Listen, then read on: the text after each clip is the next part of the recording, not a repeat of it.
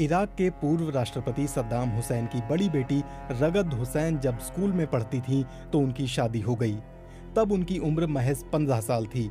शादी के वक्त इराक और ईरान में जंग चल रही थी। फरवरी उन्नीस सौ छियानबे में 25 साल की उम्र में रगद ने अपने परिवार वालों के कहने पर तलाक लिया और तलाक के दो दिन बाद उनके पति की हत्या कर दी गई। रगद की शादी सद्दाम हुसैन के चचेरे भाई हुसैन कैमल अल माजिद से हुई थी। हुसैन कैमल तब सद्दाम हुसैन की सुरक्षा में लगे थे। सद्दाम की दूसरी बेटी राना सद्दाम की शादी भी हुसैन कैमल के भाई सद्दाम कैमल अल माजिद से हुई थी। दोनों बेटियों की शादी, तलाक और इनके पतियों की हत्या की बहुत ही दुखांत कहानी है। 2018 में रगद सद्दाम हुसैन का नाम तत्कालीन इराकी सरकार ने मोस्ट वांटेड की लिस्ट में डाल दिया था। रगद सद्दाम हुसैन ने अल अरबिया को दिए इंटरव्यू में अपने निजी जीवन की कई अहम बातें कही हैं। रगद से पूछा गया कि इस शादी के लिए उन्हें उनके पिता सद्दाम हुसैन ने दबाव डाला था या उन्होंने अपने मन से शादी की थी। जवाब में रगत ने कहा, मेरे पिता ने अपने पाँच में से किसी भी बच्चे पर शादी के लिए दबाव नहीं डाला। उनकी बेटियों के लिए किसी ने शादी के लिए प्रस्ताव रखा भी तो उन्होंने हम लोगों से पूछा कि क्या करना है। उन्होंने पूरी आज़ादी दी थी। मैं तब किशोरी थी। गर्मी के दोपहर का वक्त था। मेरे पिता ने दरवाज़ा खटखटाया और रूम में आए। मैं झपकी ले रही थी और उन्होंने बहुत प्यार से जगाया। वो मेरे बगल में बिस्तर पर बैठ गए, उन्होंने हाल चाल पूछा, फिर उन्होंने पूछा कि तुम्हारा एक प्रेमी है। उन्होंने उसका नाम भी बताया। रगद ने कहा कि शादी तो परिवार के भीतर ही होनी थी, इसलिए ये बहुत असहज स्थिति नहीं थी। उन्होंने कहा, मेरे पिता ने कहा कि तुम रिश्ता स्वीकार करने या ठुकराने के लिए स्वतंत्र हो। जब वो ये सब कह रहे थे तो मैं लजा रही थी। तब उन्होंने कहा कि बेटी, तुम अपना फैसला अपनी माँ को बता देना। हुसैन कैमल अल माजिद मेरे पिता के रक्षा दल में थे, इसलिए उनकी मुलाकात सद्दाम हुसैन से रोज होती थी। मेरे पिता बाकी के अंगरक्षकों को लंच पर बुलाते थे, जिसमें ये भी शामिल रहते थे। हम दोनों एक दूसरे को प्यार करने लगे थे। मेरी माँ को पता था। तब मैं बच्ची ही थी, लेकिन प्यार जल्द ही शादी में तब्दील हो गया। मैं तब स्कूल में ही पढ़ती थी। शादी के बाद भी मैंने पढ़ाई जारी रखी और ग्रेजुएशन की पढ़ाई पूरी की। मेरे पति पढ़ाई के पक्ष में नहीं थे, लेकिन मैंने पढ़ाई पूरी की। शायद मेरे पति ने ऐसा ईर्ष्या के कारण किया हो। इराक में तब सुरक्षा को लेकर कोई दिक्कत नहीं थी, इसलिए स्कूल नहीं जाने देने की जिद करने के पीछे ये कोई कारण नहीं हो सकता था। हालाँकि मेरे पति मुझे प्यार और आदर दोनों देते थे।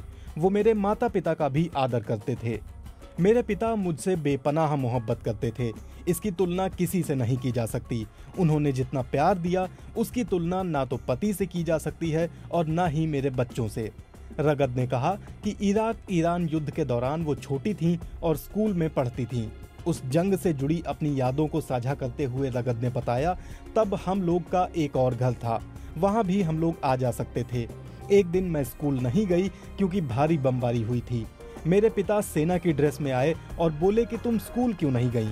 मैंने युद्ध के खतरों को लेकर कहा तो उनका जवाब था कि इराक के बाकी बच्चे भी तो स्कूल जा रहे हैं, तुमको भी जाना चाहिए। उन्होंने कहा कि अगर तुम स्कूल जाओगी तो स्कूल में पढ़ने वाले बाकी के बच्चों का साहस बढ़ेगा, तुम्हें उनका भी ख्याल रखना चाहिए।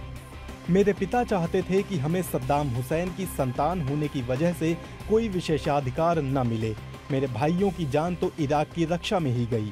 रगत ने कहा कि वो राजनीतिक फैसलों में शामिल नहीं होती थीं, लेकिन कई मानवतावादी फैसलों का हिस्सा रहीं। रगत ने कहा कि कई मामलों में मेरे पति से भी बहस होती थी। रगत ने अपने पति हुसैन कैमल और पिता सद्दाम हुसैन के रिश्तों में आई कड़वाहट पर भी बात की।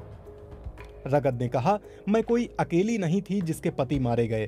तब इराक में बड़ी संख्या में महिलाओं ने अपने आदमियों को खोया। इनमें उनके पति, पिता और बच्चे भी शामिल थे। मेरे पति उन्नीस के अगस्त महीने में जॉर्डन गए। उन्होंने जाते वक्त मुझसे संपर्क किया था। मुझे लगा कि अगर वे यहाँ रहेंगे तो खून खराबा होगा। ऐसा परिवार के बीच ही होता। इसलिए मैंने उनके इराक छोड़ने के फैसले का समर्थन किया। सद्दाम हुसैन की बेटी होने के नाते ये आसान नहीं था कि मैं दूसरे मुल्क जा सकूँ।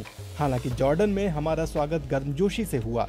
कभी ऐसा नहीं लगा कि मैं बाहरी हूँ, लेकिन जब प्रेस कॉन्फ्रेंस करके इसे सार्वजनिक किया गया तो मुझे इसका अंदाज़ा नहीं था कि क्या बात कही जाएगी। रगद ने इस इंटरव्यू में कहा, जॉर्डन जाने के बाद प्रेस कॉन्फ्रेंस में क्या कहा जाएगा, इसका मुझे कोई इल्म नहीं था।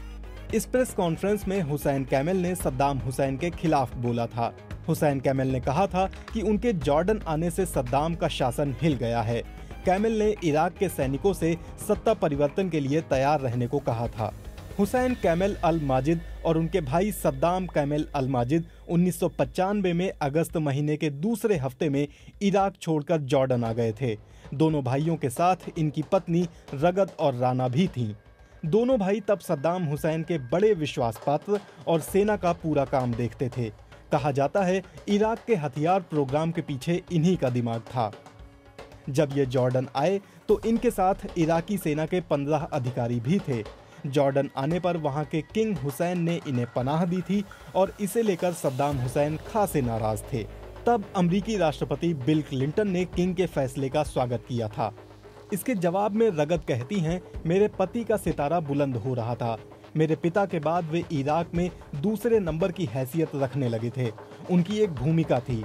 ऐसा परिवार से करीबी संबंध के कारण था। उनमें निर्णय लेने की क्षमता थी, उनमें वो साहस था कि हर भूमिका को ठीक से निभाएँ। मुझसे शादी से पहले ही वो इस मामले में आगे बढ़ रहे थे। जब हमारी शादी हुई, तब हुसैन कैमल स्पेशल सिक्योरिटी के प्रभारी थे। जब ईरान से जंग हुई तो उसमें शामिल फौज के भी हुसैन कैमल ही प्रभारी थे। इसी फौज की ज़िम्मेदारी सद्दाम हुसैन की सुरक्षा की थी, उन पर पूरे देश की सुरक्षा की ज़िम्मेदारी थी। हुसैन कैमल से तलाक के बारे में रगद ने कहा हुसैन इराक छोड़ने के बाद चीज़ों को झेल नहीं पाए।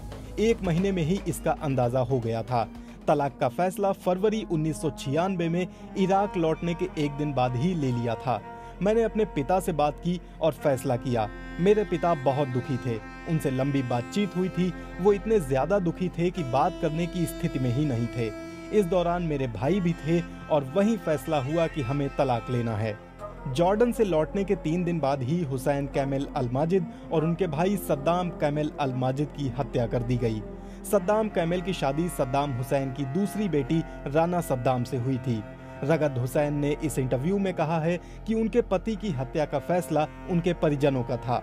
रगत ने इस बात को भी स्वीकार किया है कि उनके पति की हत्या में उनके भाई उदय सद्दाम हुसैन की भी भूमिका थी।